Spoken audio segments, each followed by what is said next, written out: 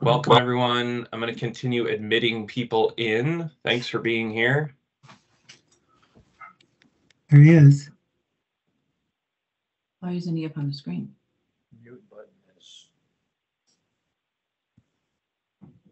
right there. Welcome, everyone. Um, I'm going to continue keeping an eye on the the lobby and admit people as they come in.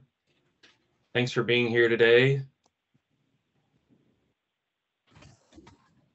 Uh, welcome. You'll notice that your um, camera, you can't turn your camera on. Uh, there's some setting on the back end that um, that needs to be adjusted that we won't worry about for now, but you do have audio capabilities. There's a there is a little button up in the right hand corner that looks like a microphone that says mic underneath it. Um, if you wouldn't mind muting yourself by clicking that button. Um, and we're gonna let other people join and then we'll get going. Thanks a lot for being here.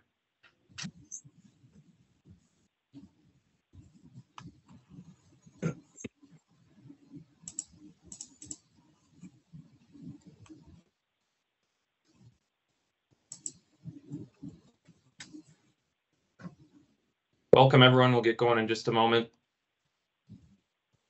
Seeing 31 people, that's a good turnout for a Tuesday afternoon. Thanks for being here.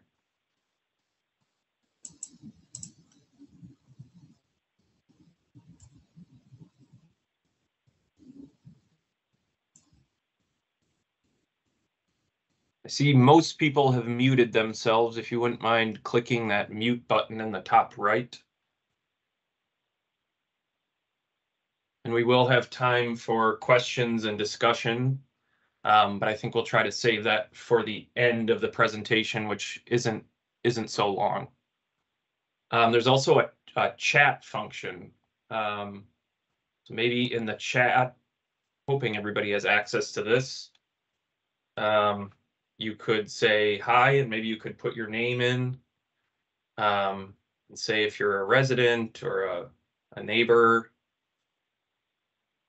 uh, my colleagues are here, Ruben and Hun Wen. Can you confirm you have access to the chat? Hi, Jimmy. This is Ruben. I do have access to the chat. I'll introduce myself there.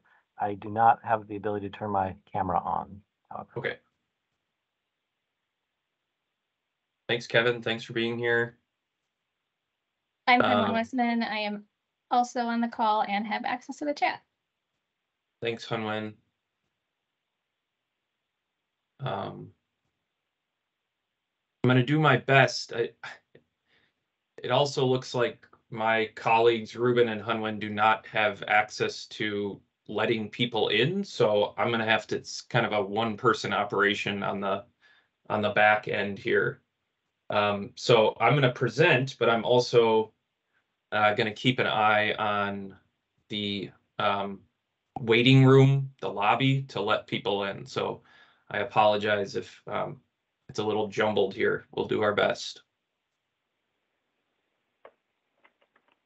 See some people putting some stuff in the chat. Thanks a lot. We'll get going in just a moment. And a reminder to please mute yourself up in the top right corner of, of the t- Microsoft Teams screen. Um, that would be helpful. Thanks.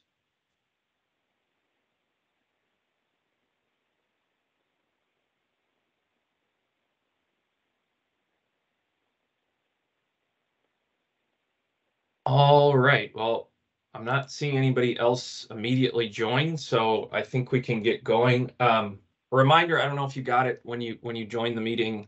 This is recorded and, uh, that's just so I can take this recording and post it to the web page, and so other people can, can check it out at, at some point. Um, there's also a function that allows you to raise your hand, so maybe I can share this screen and kind of point people to where. Um, so here, this is Microsoft Teams meeting. Um, there's a chat there, and I appreciate everybody putting um, their names. If you're willing, you can put your name, or you can say, "I'm a resident at XYZ or whatever street." Um, there's also a raise hand function. You can click on this and your hand is raised. Um, and I think that'll be most important towards the end of the hour or after the presentation. Um, Ruben, can you see who's raising their hands and kind of point that out to me when the time comes? Sure thing, Jimmy. I sure, I sure can. Thanks. Um, you can also react if you really love what we're talking about, you can love it. Or you can laugh. Or you can clap. Um, I'm sorry, there's not a thumbs down button. Um, anyhow, I think we can get going. Um, Excuse me. yes, Yes, um, I'm only on by phone. okay, Uh, it did not say in the letter that this was on Microsoft Teams. I did try to just log in off of the web. So first of all, it did say it was on Teams. So sorry, I can't do that today. Um, how do people participate who are only on the phone? Um, And who and who are you? Sorry, I can't see you. I didn't hear you introduce yourself either. Uh, no problem at all. Um, yes, there is a call-in option. There's also a link to join via Microsoft Teams. So, um, we wanted to give both options. Un- There- You can't have Unfortunately, Microsoft Teams loaded, and the letter did not say to have it, the app loaded. uh, no, you, you don't need to have, you don't need to have Microsoft Teams loaded. Okay, because it won't come up on my computer, the website, so, don't know. Okay, but how do you participate just by phone? Please give us the uh, etiquette. Sure, thanks. Um, I'd say we're gonna, my, my name is Jimmy Shoemaker. I'm with the Department of Public Works at the City of St. Paul. Um, I'm working, I'm, I'm working with, uh, two people who are joining us, uh, Ruben Collins and Hunwen Westman. And we'll, we'll do another round of introductions here in a second. Yes, there are some people who joined on, uh, their phones via a call-in number. There are some people who joined on a device like a computer or your phone or a, a, a, a iPad or similar. Um, and then there, um, and those people can see my, my screen. And then there are other people, I think, on the phone, as you mentioned, that can't see my screen. And I, I do intend to post this presentation. Um, it is being recorded. So, um, when the time comes, you can come back and watch the presentation, or you can also call me or email me. Um, and we can talk on the phone that way too. Thank you. Thank you. All right, um, if people could hold their questions till the end of the presentation, we can go back to slides in the presentation that I'm gonna share. Um, uh, but I want to make sure that we get through this before we, before we answer questions. Um, all right, I'm gonna get going. Please, uh, do mute yourself, uh, if, if you're, if you're calling in or if you, um, are joining, please go up to the top if you're on Teams and click that mic button and that will mute yourself. All right, um, let's get going. Thanks a lot for being here. Um, you are here to learn about uh, the 2023 Fairview Avenue resurfacing project. Um, I want to talk about uh, just a general project overview, um, some existing conditions, uh, what we what we plan to change on the street, um, and then some related projects that I know a lot of you all are familiar with, um, upcoming projects both this year and next year that are kind of in the neighborhood. And then talk about some additional opportunities for engagement. Um, on your right will probably look familiar. This is a photo, I believe, at Bayard and Fairview um, of a young person crossing Fairview on on their bike. Um, uh, as you know, it, uh, probably many of you got the letter in the mail um, to to to advertise the project, to let you know that this is happening. It is a uh, the project goes from Randolph to Edgcumbe, Randolph on the north and Edgcumbe on the south. Um, and part of the resurfacing will result in a smoother roadway for people driving and biking. Um, you're not seeing the slides on the screen. Can someone else tell me that that's the case? I can see him, Jimmy. Okay, Looks like Michael Lee, Kevin Gallatin can see them. okay, okay, thanks. Um. All right, um. Uh, it also uh, result in improved pedestrian crossings at several of the intersections. Um, there also be upgrades to the curb ramps to make them ADA compliant, Americans with Disabilities Act compliant, which is something we do with all our projects. Um, and as many of you know, there will be some access changes to um, intersections at Fairview and Eleanor, Bohland and Saunders, and we're going to talk a lot about that. Um, this will happen uh, this summer. Um, the pedestrian improvements, um, both the medians and the the bump outs and the curb ramps will will happen probably uh, you know, maybe sometime in the middle of the summer. We don't know specific dates quite yet.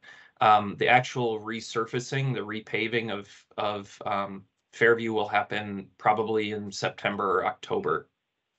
Um, the changes that we're going to talk about are planned changes. Um, a lot of questions came in about, are you doing this? Is there an opportunity to to change this? Uh, we are certainly, there is an opportunity. We are seeking input and um, talking with the community to learn more about how these might impact you um, and, and how the changes will, will impact uh, uh, the neighborhood. So we are interested in learning about that. Um, as of now, these are planned, but um, but we are interested in learning about how you know these impacts will will affect you. Um, existing conditions, you all live in the neighborhood, so I won't spend a lot of time on this. Um, uh, the street Fairview is wider north of Highland Parkway. Um, and then it's it's less wide south of Highland Parkway. There are uh, shoulders and bike lanes um, along the corridor between Randolph and Edgcumbe. Um, there are sidewalks on both sides for for some portions, um, but then we do know that there are missing sidewalks uh, on the west side of Fairview, north of Highland Parkway. Uh, there's no transit service. Um, uh, the speed limit is 25 miles per hour posted, um, 8,800 vehicles per day, and that um, how that compares to to streets on either side. There's you know there's 14,000 vehicles on Snelling, and then there's kind of a range on Cleveland in the same area. So Fairview kind of falls between uh, between Snelling and Cleveland. And as you know, it's uh, largely residential along the corridor, single family home, of course, with the exception of um, of St. Kate's on the north um, and a bit of SPA, St. Paul Academy, kind of uh, on the north end also. This yellow line that I've drawn in there um, it's been mentioned by the by community members several times that uh, there's a sidewalk gap on the west side, kind of along St. Kate's, but even further to the south. Um, uh, a question has come up several times, understandably, is this project going to add sidewalks uh, to those missing portions? Um, we are in touch with St. Kate's um, and we don't have anything definitive yet about that. We are talking with them in hopes that um, we could add sidewalk along along their frontage. Um, but off of their frontage, there are um, there are quite a few challenges with building sidewalks on that portion. As you can see in this photo, um, uh, numerous trees would likely have to come down with sidewalk construction. Um, there are a number of kind of private property, whether they be plantings or um, in some cases, maybe even fences that encroach into the public right of way. So there would be some significant challenges with with constructing sidewalk as part of this project. Um, that isn't to say that this that in the future the sidewalk couldn't be added, but as as part of this project in 2023, um, uh, sidewalks are not are not being considered and we can talk more about that if people have questions. Uh, and more questions have also come up. Hey, uh, on the on the portion kind of where it's narrower on Fairview, uh, sidewalks are are on what we call the back of curbs, so there's no boulevard. Um, and that's that we typically we see boulevards on our neighborhood streets in in St. Paul, and um, so this is kind of a unique scenario. Uh, to add boulevards again would be um, uh, another another element of the project. Um, we did in twenty twenty-two apply for federal funding to recon, totally reconstruct Fairview, a, a portion of this, of this project. And that would, the, the goal of that application for federal money was to um, reconstruct Fairview totally.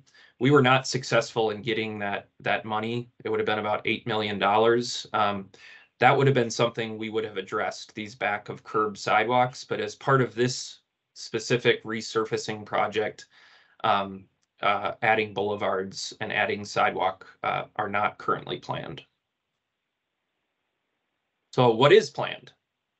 Um, resurfacing of the pavement. Um, we know that Fairview, like many other streets in St. Paul, are in bad shape.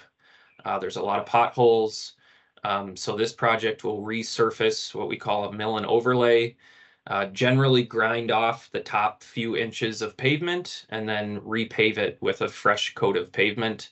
Um, that makes it a, a smoother experience for uh, driving and biking. It also extends the life of the road um, without taking on a, a much more costly reconstruction. The pedestrian improvements that we're talking about that I'm sure you all are aware of are, are medians and bump outs. Um, and the, the point of those is to, to improve safety along the corridor, both for people walking and ideally to slow traffic down uh, cars driving on, on Fairview. We hear all the time about um, some safety concerns on Fairview, but we know that that's it, it's a generally a problem across the entire city, traffic speeds. We know a lot of people drive the speed limit, but there are um, there are cars out there, I'm sure you all are aware, that that do not. Um, and so the pedestrian improvements will will help help pedestrians, but also hope uh, the goal is to to slow traffic down also. Uh, these crossing improvements that are planned um, uh, break up the crossing into multiple stages. Um, so you can cross one leg of traffic and in, in, uh, in terms of the medians, you can cross one lane of traffic, have a place to pause in the middle, and then cross the other lane of traffic. Um, hello, welcome. If you could please mute yourself, uh, that'd be great. Uh, welcome. Please do mute yourself up in the top right corner if you're joining. Um, uh, they also improve visibility. So a lot uh, bump outs um, get people crossing out closer to the intersection. Um, and a lot of times we hear from drivers who who don't yield. Oh, I, I didn't even see someone waiting to cross. Uh, bump outs bump the curb space out um, and they improve visibility for people um, driving and people walking. Um, a lot of questions have come in. Why, why, these locations? Why are you choosing these locations? Um, we we know that installing just one location or uh, isn't going to make the changes that we want. Um, so we want to space them along the corridor so we can get kind of a traffic calming effect for the entire length. So people can't just slow down at at one place and then speed up again. We'd prefer that um, it's calmed throughout the entire corridor. Um, Fairview, there is space, uh, according to our traffic engineers. Um, there's space in the in the street that can be repurposed um, and used for these these pedestrian crossings. So we're looking at uh, at those locations where there is extra space. Uh, we mentioned at the top of the meeting that there are uh, some missing sidewalks, and so these median and bump out uh, crossing locations also serve to connect sidewalks. And then finally, um, you all know that there are a number of schools in the neighborhood and the locations of the pedestrian improvements were chosen um, uh, because of their proximity to school crossings. Uh, we've heard for a long time from the schools that Fairview is a challenge for students to cross. We've heard from neighbors, um, uh, parents and, and families who, who would like to walk to school, but they don't feel safe crossing Fairview. So this is in response, uh, in response to that. Um, at Eleanor, Bohland, and Saunders, I'm doing my best to admit people as they, they join. Hello, welcome. If you could please mute yourself as you join. Thank you. I'm gonna mute that. No. Um, at Eleanor Bohland and Saunders um, is where we plan for medians that um, stretch across the intersection um, that are shown over there on the right side of your screen. Uh, they provide a better pedestrian experience. You can imagine um, a median that that is only partially closed would still allow cars to turn across um, the pathway of a of a person walking. Um, they also eliminate through traffic from one side of Fairview to the other. So that's another reason why we're we want ideally um, traffic on Eleanor and Bohland and Saunders to be residents accessing their homes. Uh, we don't want uh, cars driving through the neighborhood that are just passing through. So um, while they do benefit pedestrians for sure, and that is the goal, um, there is also a benefit uh, to lowering the amount of traffic on on these streets. Um, they will create what's called a right in, right out turn restriction, and I'll talk about that more in a moment. Um, and as many of you know, uh, there is a 2024 project on Snelling Avenue in this same area, uh, led by MnDOT. Um, and those similarly have um, some turning restrictions. Um, those are not on the same cross streets. So the the the the medians considered at um, on Snelling uh, are not the same cross streets as the ones that we are proposing. I want to take a pause and just um, highlight that um, there is a lot of research that has um, that um, that says that medians are a proven safety countermeasure.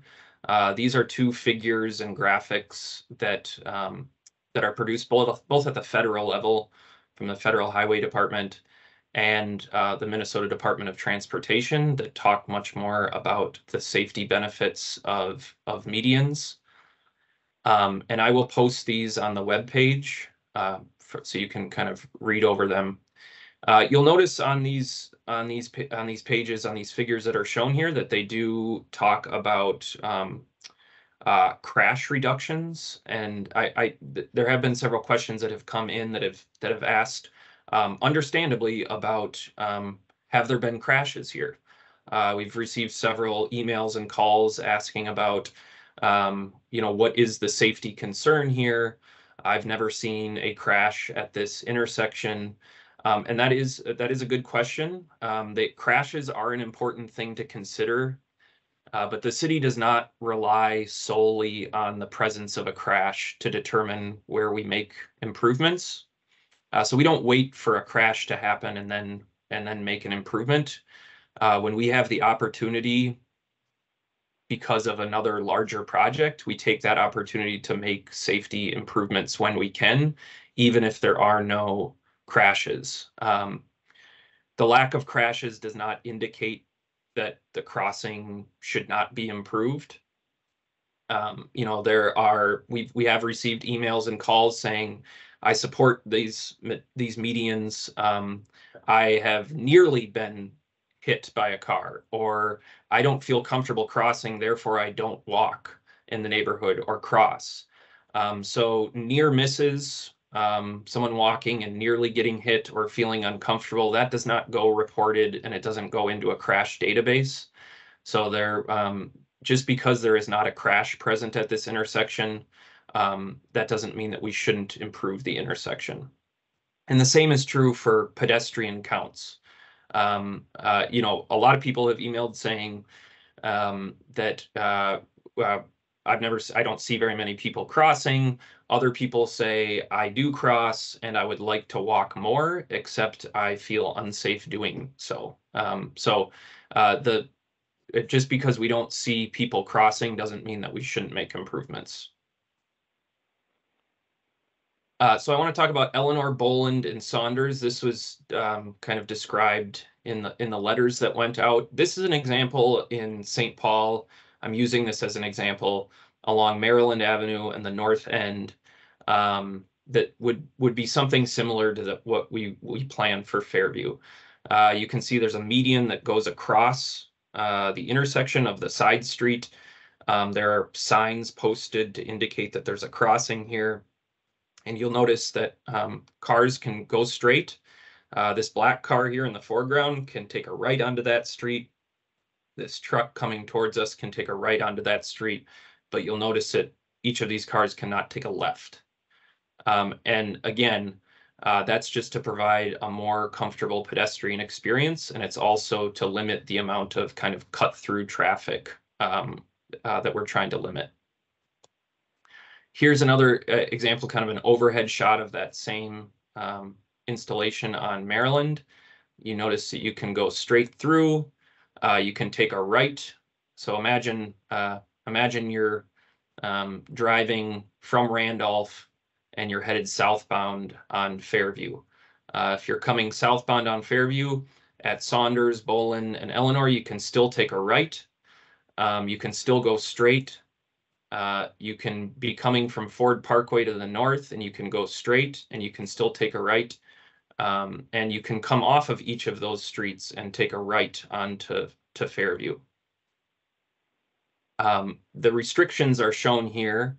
Um, again, unable to take a left, the restrictions would uh, would prohibit left turns um, from from Fairview onto Bohland, Eleanor, Saunders, and it would also prohibit a left turn from Fairview uh, onto Eleanor, Bohland, and Saunders. We call this a right in, right out.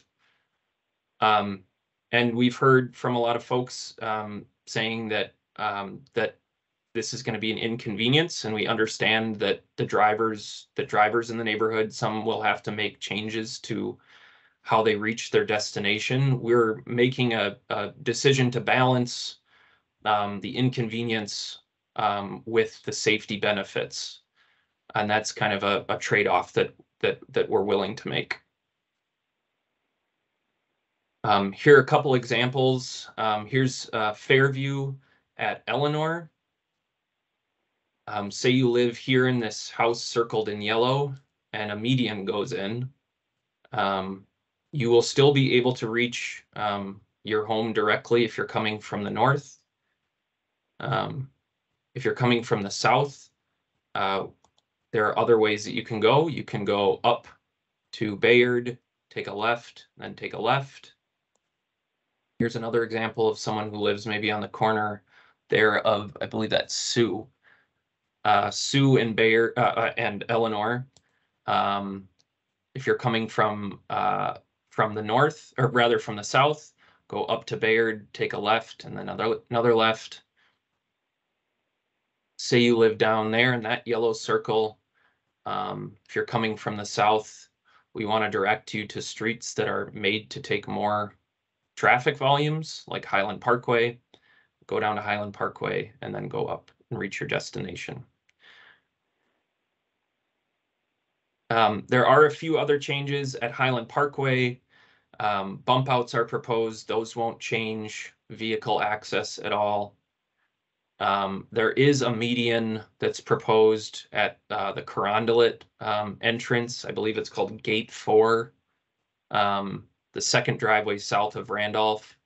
Uh, that is to allow someone um, uh, to reach the sidewalk that exists on the east side there's no sidewalk on the west side in that location. So we are planning to install a median there so someone can cross. Uh, um, some some seniors uh, living at uh, Carondelet to get them to uh, uh, a safer crossing across Fairview to the, reach the, the sidewalk on the east side of the street. Uh, there won't be any changes to on-street parking as part of this project.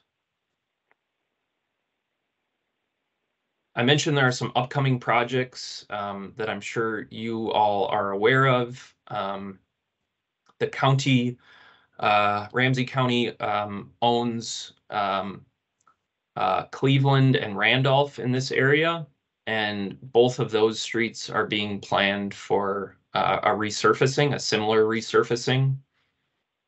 And um, uh, also shown in, in the blue, um, on Edgcumbe further south, uh, that street is being completely reconstructed uh, this year by the city.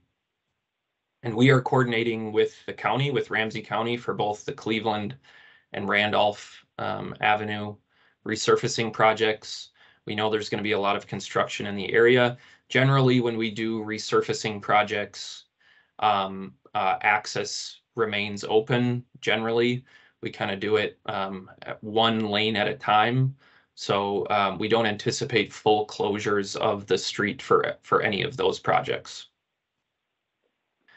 Uh, looking forward to twenty twenty-four, um, I mentioned, and some of you probably know, there is a MnDOT project. Um, and that project will, um, uh, uh, widen the sidewalk on the west side of the street between, uh, Ford and Montreal. It'll also replace the signal at Montreal, and it will also add a shared use path on the east side where there's, where there is none of Snelling. It will also add medians, uh, similar medians to the ones that we are constructing at Hillcrest, Beechwood, and Rome. And so you can see that, um, you know, a median will not be constructed uh, on both Fair, at, on both Fairview and Snelling at the same cross streets. And that was coordinated between the two projects. Looking forward to next steps. Um, thank you for attending the meeting today. We're gonna have time for some questions. I hear a lot of uh, chats. Um, so thank you for being here today.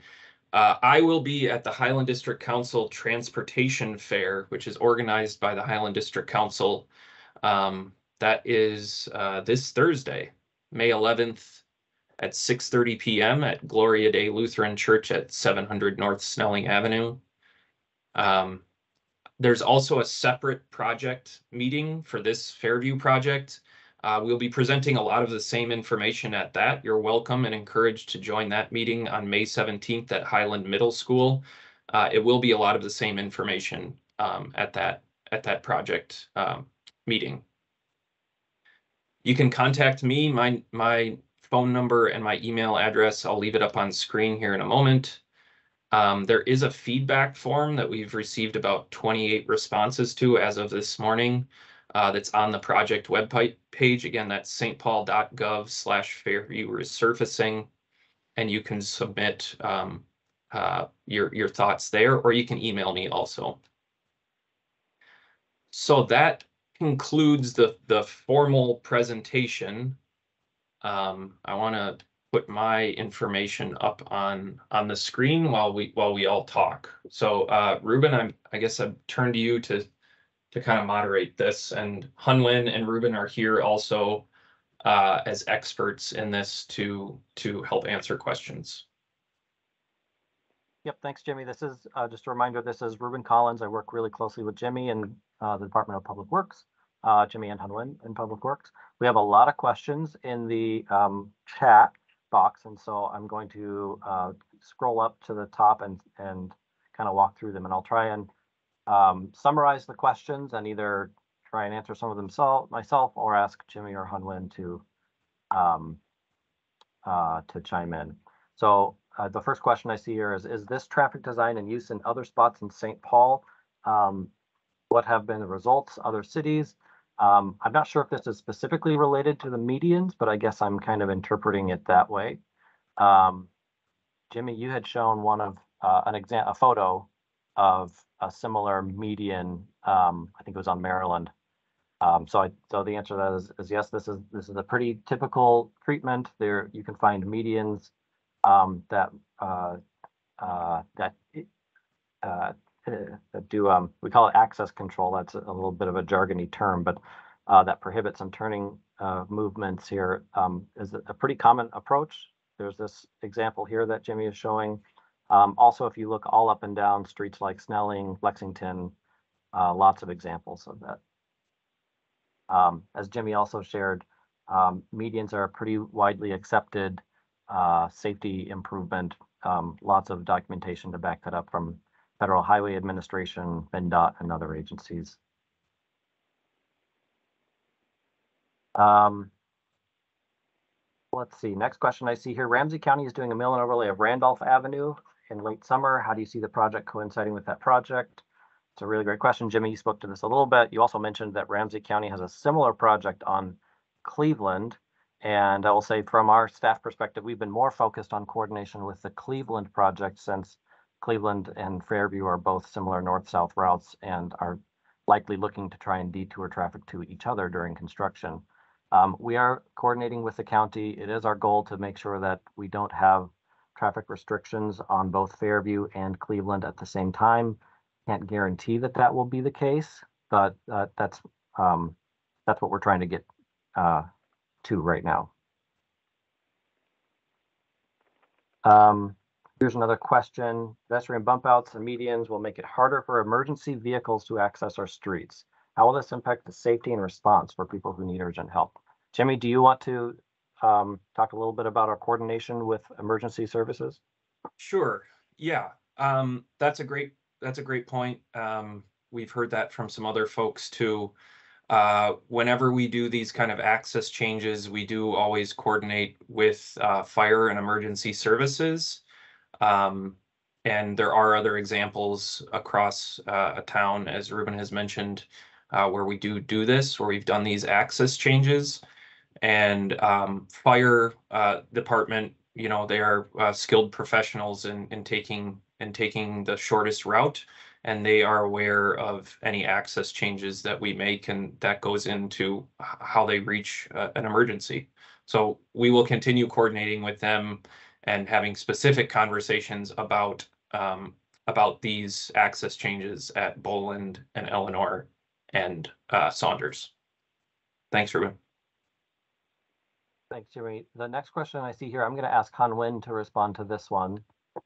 Um, the question is about, uh, you know, any traffic studies done to determine the impact to Highland Parkway was a specific question. I'd say let's kind of widen that question a bit and just say generally, um, what does this mean for uh, for the streets adjacent to uh, where the medians will go? Is this going to result in more traffic on those streets? If so, how much? What can we say about that, Han Wen? Yeah, so um, we did kind of a high level look at the area. And in general, the streets in the cross streets uh, in the area are low volume, uh, primarily residential streets where volumes are generally like in a couple hundred per day. Um, even if those volumes were to reroute all onto one street, that is still a very, very low volume street uh, by city street standards, city traffic standards, uh, and not just the city, um, industry wide. So, yes, volumes may go up, but they are still considered very low volume. And then on top of that, I would add that uh, the rerouting of traffic will depend on where people are coming from and going to. So not all of those volumes will go all to one street. So you take the low volumes to begin with and then disperse them and the additional traffic um, is very, very small. Thanks, Han Wen. Um, next question I see here, I'll take this question myself. It's, uh, question is, uh, noting that there is no ex- existing turn lanes on Fairview, at Fairview and Saunders. It's, there's just kind of a striped center line with one travel lane in each direction.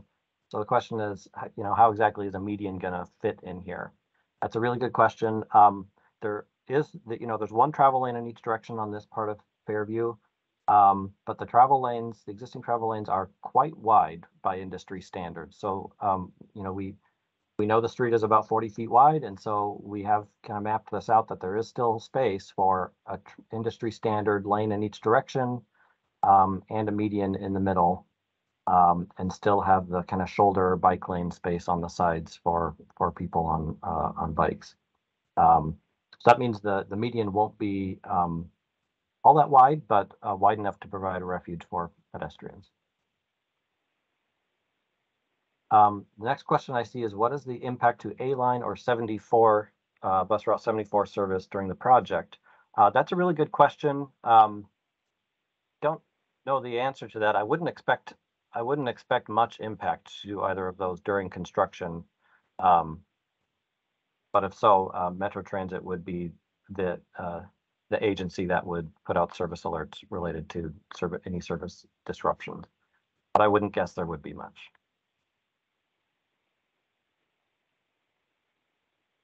Um, the next question I see here is about, um, uh, crossing guards at school, and I, I, I'll- I'll kind of expand the question here to say, what, what have we, um, Jimmy, I'll, I'll toss this question your direction. What, what have we, um, what have our conversations been with schools? What have we heard from schools about people walking to school and their ability to, um, help ensure safe routes for people trying to get to schools? Yeah, sure. Um, yeah, as you all know, there are schools kind of on either side of Fairview.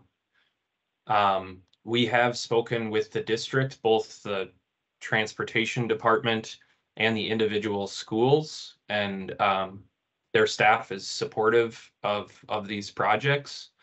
Um, we've also heard from uh, email. I've gotten emails from from families in the neighborhood that said, uh, you know, I, I either do walk right now with my, with my child and, uh, I feel unsafe, or I don't walk at all because I feel unsafe. Um, and they are supportive of the, of the, the pedestrian improvements. Um, I don't know specifically about crossing guards. Crossing guards kind of ebb and flow.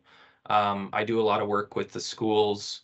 Um, crossing guards are, are a great, um, are a great, uh, uh, uh, both adult crossing guards and student, uh, patrol, I guess you'd call them, there's a difference. Um, are a great, um, uh, strategy. Um, but I know that that takes, resources and sometimes, um, parents don't want their, student being a student patrol, um, because they feel unsafe having their student out there. Um, so crossing guards are an option and certainly one that, um, that we support. But we've also heard from schools that it's hard to get volunteers or it's hard to get their staff to stay after school or come before school to actually staff those corners. Yep, thanks, Jimmy. Um, a question here about, about, um, snow, and I, I'll expand this question. Is any of the research you have based on studies, uh, uh, based on studies in areas with snow? And, and let's just talk a little bit about what this does mean for snow. I think there's another question further down the list here about plowing. Um, we don't anticipate this has much impact on the city's ability to plow the streets.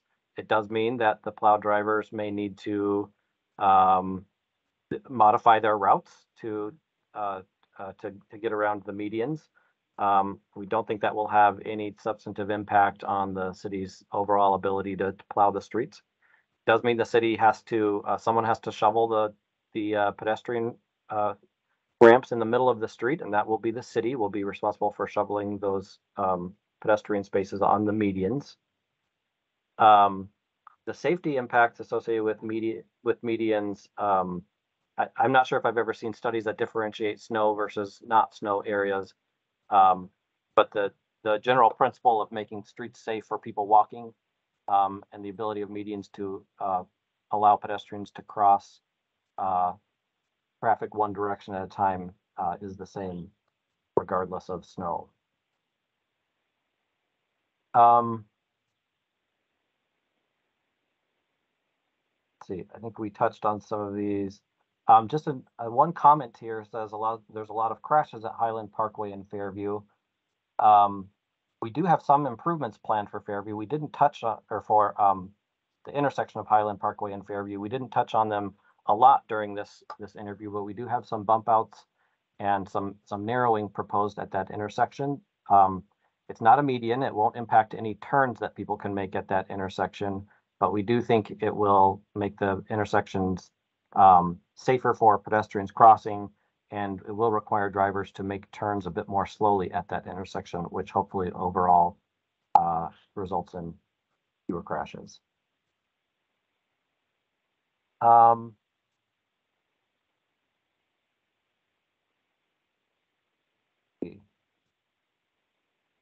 Oh, a lot of questions about alleys and whether people will uh, be able to turn into and out of alleys. A few questions about specific alleys. Um, I can take this question. None of the medians will prohibit any turning in or out of alleys. Um, so all of the turning movements you currently make in and out of alleys, you will continue to be able to do those. Um, it will not have any impact on um, trash or recycling that is coming up and down the alleys. That will all continue the same way uh, as it does today.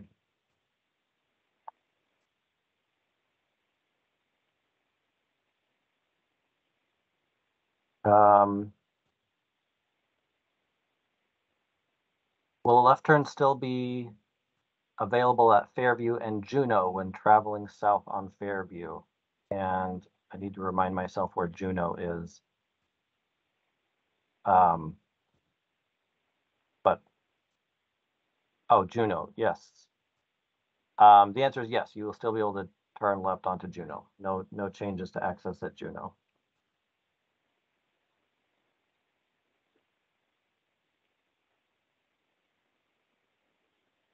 And I'm just scanning these questions a bit more.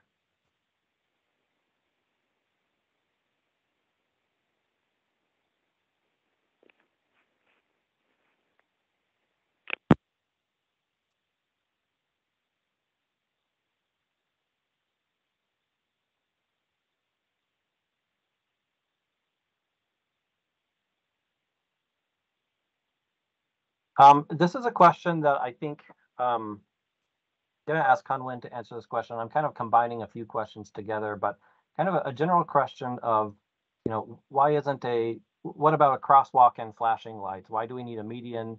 Why can't we just do crosswalks and flashing lights? Then we don't have, then no one has to drive around the block. Then we don't have to impact any, any vehicle routing. Conwyn, are you able to speak to how the city um, decides where these different uh, treatments are appropriate? Sure.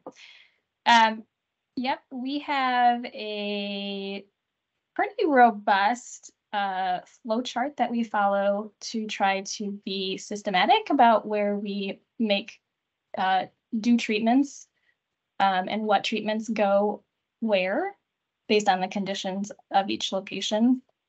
Um, high, very high level, I would say that anything that involves striping and signs, um, striping in particular, um, require ongoing annual maintenance funding. And a lot of the impetus for putting that uh, flow chart together was to try to get a handle on those ongoing costs. Um, and in addition, uh, paint and signs don't provide any physical presence or barrier, um, whereas bump outs and medians do provide that. Um, so are more of a physical treatment and a, I would say, um, more proven results compared to striping, which have more mixed results. Did I answer the question? Yep, thanks, Hunwin. Um, I see one person has a hand up. Heather, do you want to unmute yourself and ask your question? Yeah, thank you so much. It's been uh, really good to hear a little bit more detail about what you've been trying to, what you're trying to achieve. I have to say that um, I was just going to type in is that based on the meeting today, I was hoping to hear more that would convince me as to why this would be a good idea. Um, and unfortunately, I feel the opposite. I, I feel that our reasonings aren't really grounded in the reality of what the neighbors and the day-to-day people are seeing on the road. I mean, I think maybe additional photographs about what, what this could look like would be really helpful. I'm most concerned, um, I'm sitting on the corner of Saunders and Fairview and I've been watching the cars drive the entire time I'm here. And having these cars at this get any closer to the sidewalks, I think would be the biggest concern I have for the students and the children that are in the area.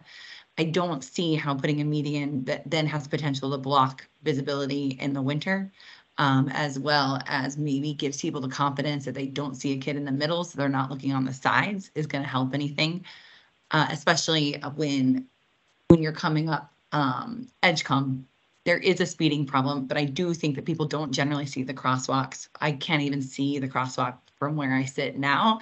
Uh, so I think that that's the biggest start is letting people know that these are crossing ways rather than block the roads and bring cars closer to children. Thank you, Heather. I appreciate that. I appreciate that comment. Um, and I appreciate that you, that you came to the meeting today with an open mind. Um, I, I agree about the back of curb sidewalks on Fairview. They're certainly not ideal. Uh, I think that's something we, we all would like to change if we had the ability to do so. Um, as Jimmy mentioned, we did submit a, um, a, a funding request for funding to fully reconstruct the street that might have given us an opportunity to do something different with those sidewalks. Unfortunately, we did not get that funding to do that. Um, you know, you raised kind of an important question about safety of people walking along Fairview compared to safety of people crossing Fairview. And I, I think you're right. This these are treatments that favor people who are trying to cross Fairview um, more so than people who are walking along Fairview. I, I will say that um, the uh, the, the travel lanes that are on Fairview today are quite wide. And I believe that is contributing to the higher speeds that we see on Fairview. Um, we, you know, we do think that medians generally are a traffic calming element and hope that medians are an indication that people should slow down. We are planning to keep this shoulder space on, on Fairview, uh, because we know it's used frequently by people on bicycles, so there will still be some buffer between the travel lanes and the sidewalks.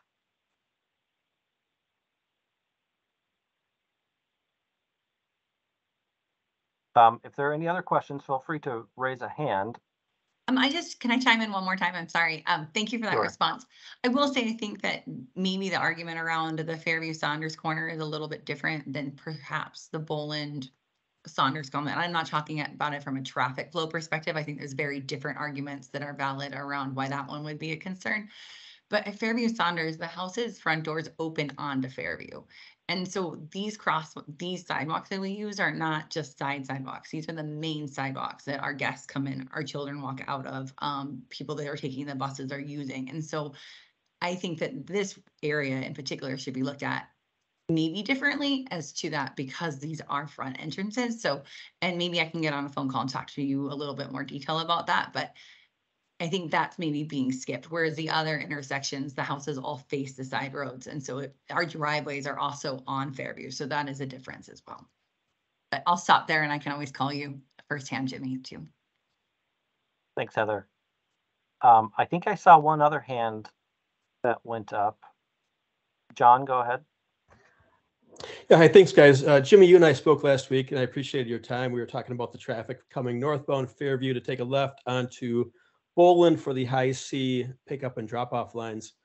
Um, I did some uh, counts this week. We had about 60 to 80 cars coming in on Bohland from Fairview um, in the mornings.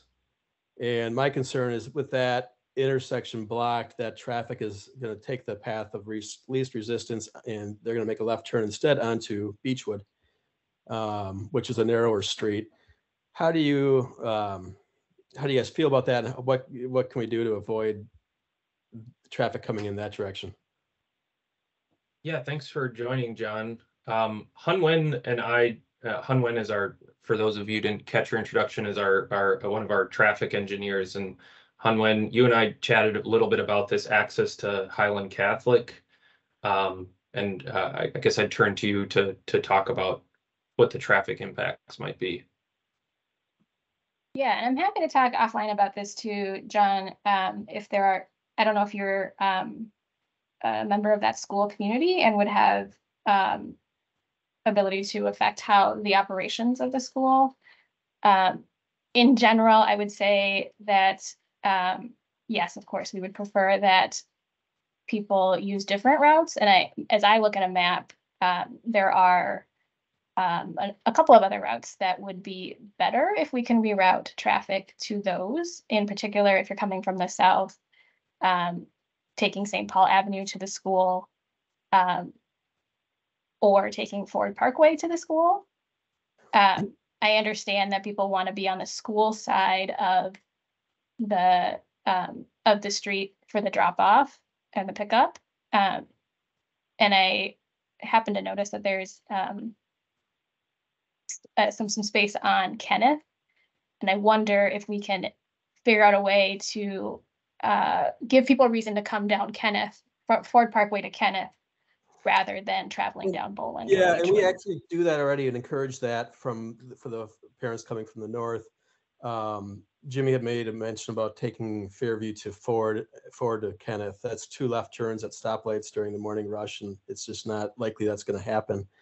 Um, and coming from St. Paul Avenue, to your point, drops people off on the other side of the street from the school, which the school absolutely does not want to see. They want kids dropped off right on the curb side of the school. So just something to think about. Uh, I guess my next question too is just regarding those medians. Uh, uh, why do they need to be as long as they are, and why can't we consider two smaller medians that would still allow left-hand turns? I don't think left-hand turns seem to be the problem when the stated intention is um, slower traffic and pedestrian safety. We could still achieve that, but still keep our left-hand turns. Can you talk more about why why that's so important to stop those left turns? I don't I don't understand that part.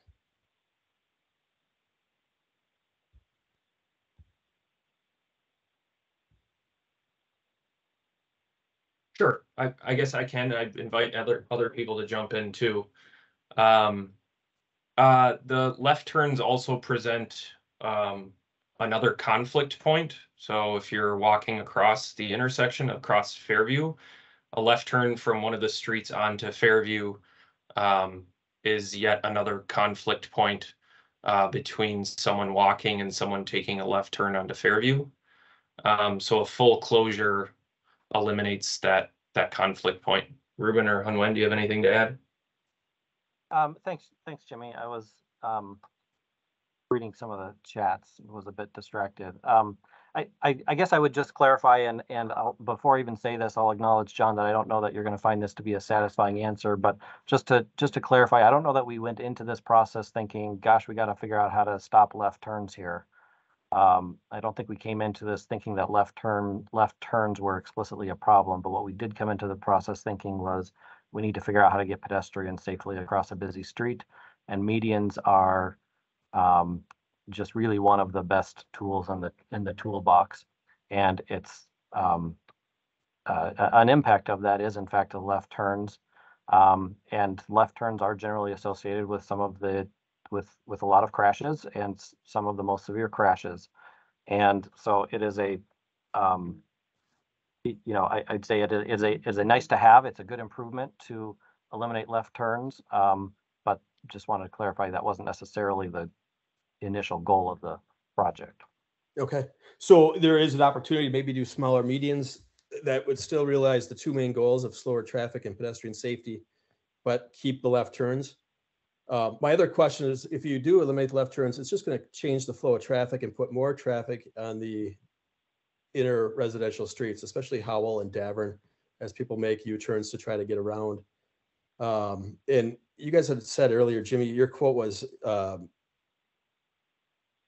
we want to encourage you to take streets meant for higher volumes. Wouldn't that mean keeping people on Fairview and not pushing them off into the residential streets to make U-turns and go around to get to their street?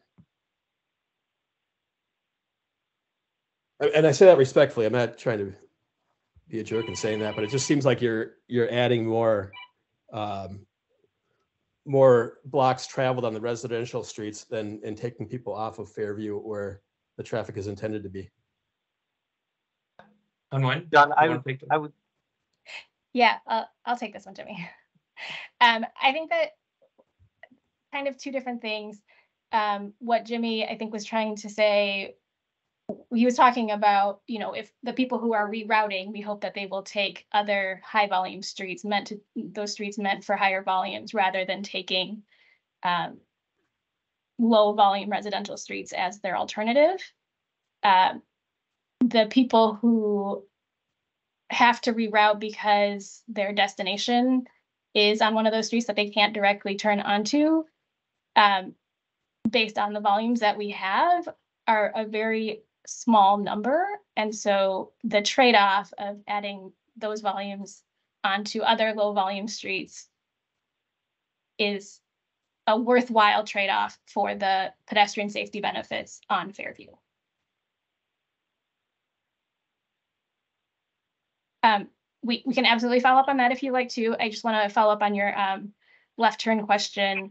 One of the other reasons for doing a full um, median through the intersection as opposed to um, two small ones, leaving the middle of the intersection open, um, is just that, you know, they'd be turning, the left turns would be coming out of the through lane now, so they would be um, both blocking traffic behind them and uh, not have as good visibility of oncoming traffic.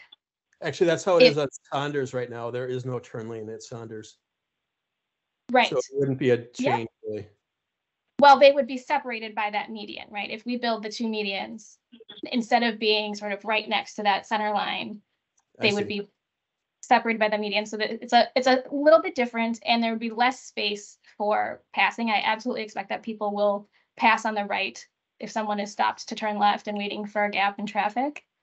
Um, and so it just, it, with the volume of traffic on Fairview, um, that is a harder trade-off, uh, something to consider, but not, a- not an obvious, uh, choice to make, I think, in terms of some places we would do just the two short medians because allowing left turns is just not that big of a deal. Here, I think it is a bigger deal and uh, it seemed worthwhile to propose the the full median given the trade-offs. Could I please ask a question regarding this? Okay, earlier in the, um, in the call, you had said that, you know, the survey showed that most of the people using this are the residential people. Is that, am I, was that correct in saying?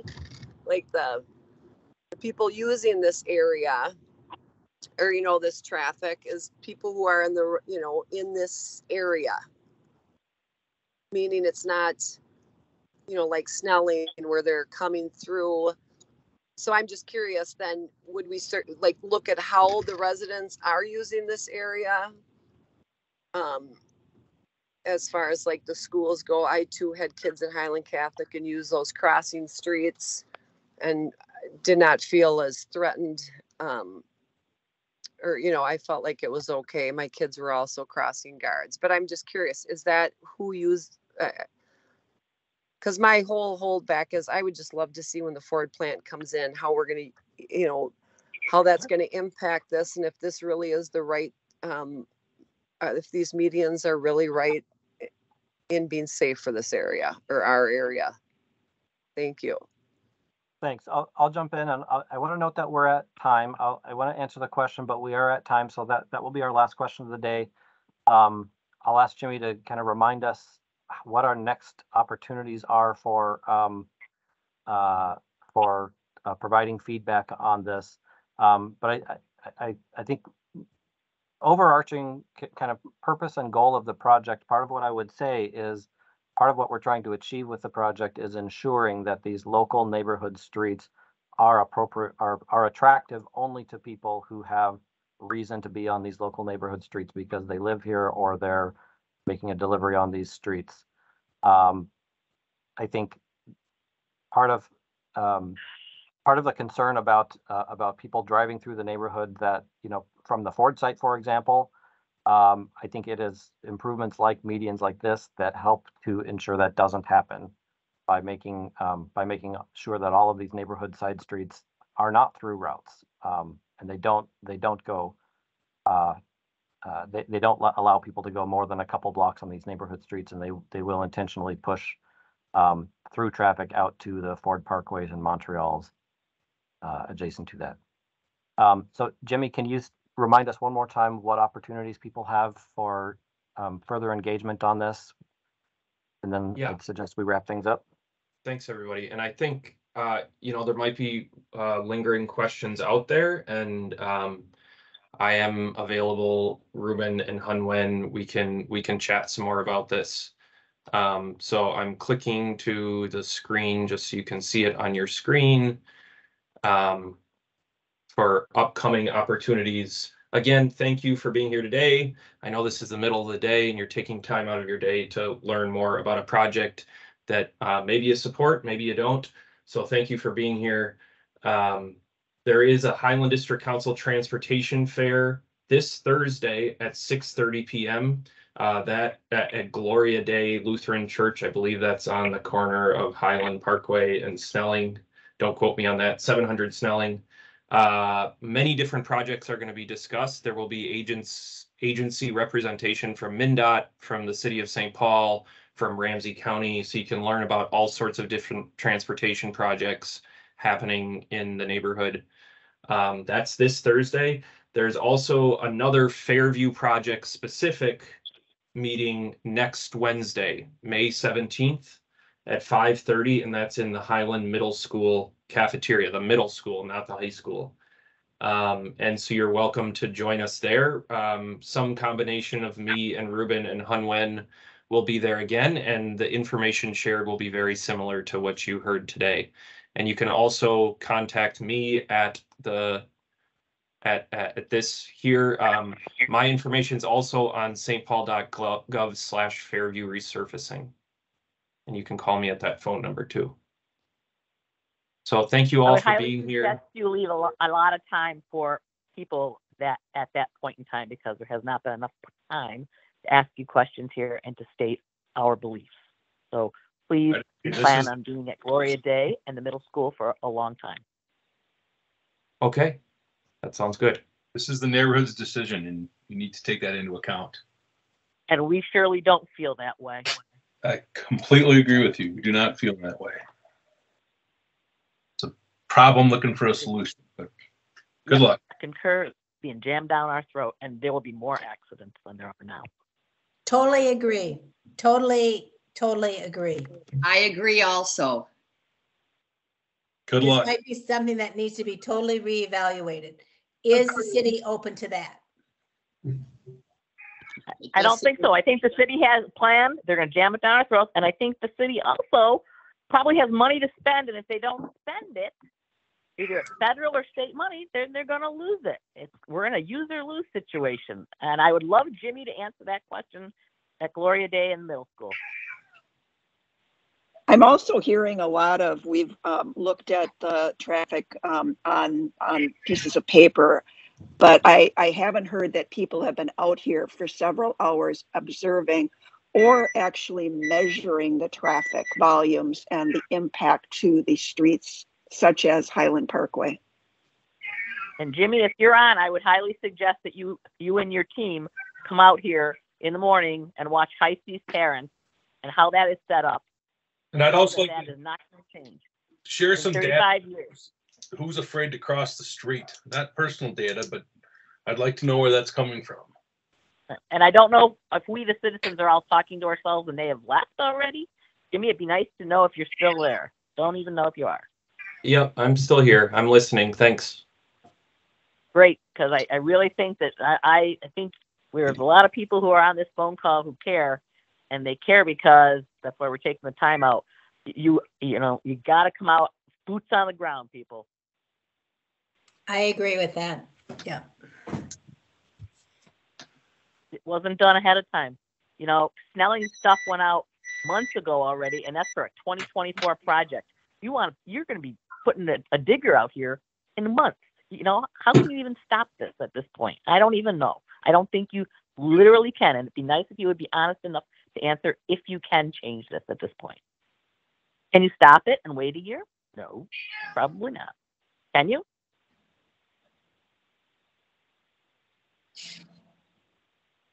Jimmy, can you? Yep, this is, this is Okay. Jimmy. Waiting Yeah, for an I- answer. Right. I would say that uh, similar to what I said at the at the top of the meeting was uh, we are trying to uh, learn if there's something that um, that we didn't think of that uh, we're not aware of um, to to change the plan going forward.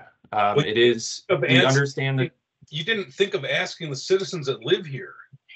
Did that And pay the cross your mind? and pay your salary. We- We pay a ton of taxes here. Why don't you survey the neighborhood before imposing these kind of things? And use actual data, actual traffic numbers. traffic studies. I don't see any kind of traffic studies. I don't see accident numbers. I don't see numbers of people who have complained. The people who complain that they can't cross the street, how are you going to find out about all of us who cross the street fine? And our children do too. We don't complain. Only the complaints get to you. The people who are happy, that doesn't get to you. How do you measure that? Yeah, that's, a- that's a good question. Um, I- another thing I mentioned was, you know, just because something is safe and just because one person thinks something is safe or they don't have a problem with it, doesn't mean that there aren't other people who choose not to walk uh, or cross. Well, then, uh, Right, but how do you, but how do you measure those of us who think it's safe? Where where is our voice heard? Our voice wasn't heard. And I question where this data is coming from. People have called in and said they don't want to cross street. Well, put, put some kind of survey or something together that canvases more of this neighborhood rather than you guys deciding we're gonna put these in here because of some pedestrian safety thing that you know, doesn't seem to have a lot of weight here. Uh, When the road, I mean, I've lived here 35 years. This road was remilled probably seven years ago. There's probably going to have to be remilled again in seven years, even with all your new fancy stuff. And the last time y'all did it, a year later, they dug a hole, a, a strip right down the middle, off to the side. And if you come and look, you will see where all of these holes started to lay a cable, like at, in a brand new street. They laid a cable, they dug it up. They the integrity of the surface was ruined. But this stuff doesn't last forever unless you're going to pay to put concrete in. I mean, you, you're all the professionals, and so this is going to have to be reworked in seven years anyway. Um, without this, the impact studies of what I mean, I as a citizen sit here and go, I'm not going to drive down any way to Cleveland Avenue. I'm going to Snelling because once the 5,000 people are living down in the Ford plant, nobody's going to want to go down there. And so all of this stuff is going to migrate. And granted, you're saying, you know, well, it, it, it will help people from zipping through. Well, people still zip through. And Beechwood Avenue is the narrowest street. There is a group home on Beechwood Avenue. There are houses before Howell that do not have garages. And eventually you will impose one sided parking because it will be so dangerous on Beechwood Avenue. And I feel bad for people who still have kids in Highland Catholic. Mine are out because it's going to be a put whatever word you want in there. You got to come out between Fairview and then there's no stop sign at Howell and it curves around. That curve will cause accidents in and of itself. And then people have to turn left onto Bohland and they won't even be able, I mean, it's, it's gonna not work, folks. I'm just telling you, it's not gonna work. And people inherit their houses around here. And I'm an outsider from New York. And I can tell you how many people inherit their houses here. So they will, this, this community does not change very easily. And the people are the same people for generations. And I think, Jimmy, you came from this area. Not sure what that means. Well, you should have a, a concept about how Highland works. Um, I'm just gonna note that I have to jump off. I, I think, um, I absolutely encourage all of you to submit your comments, uh, in the various ways that Jimmy has made available. Um, as a general note, these kind of, kind of treatments have been used around the city and around the country and generally have the effects that we're looking for. Um, Looking for.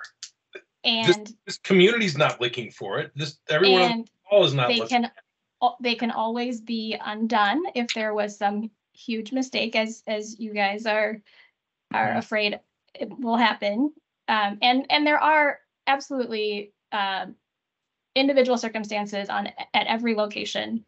And we try to identify them and that's why we're here. We're trying to hear all the different situations that you all see in your neighborhood um, that we may not be aware of. We do have traffic counts going back a ways um, for the neighborhood. So it's not completely uh, unstudied.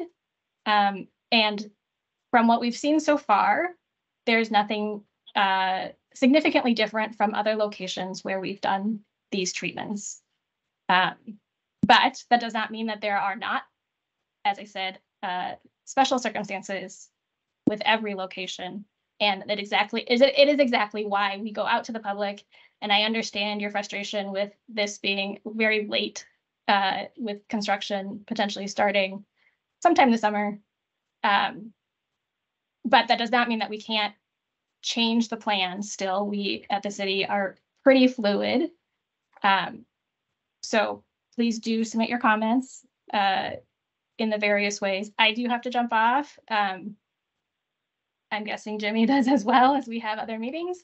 Um, but there are uh, other opportunities to submit your comments and um, we do want you to. So with that, I'm gonna jump off.